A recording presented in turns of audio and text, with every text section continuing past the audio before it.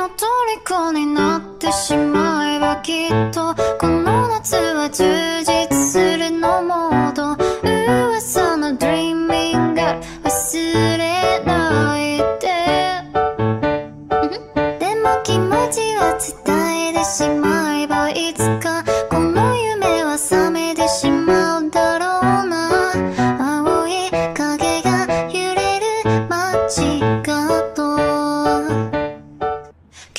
の君の虜になってしまえばきっとこの夏は充実するのもと噂の Dreaming 忘れないで。でも気持ちは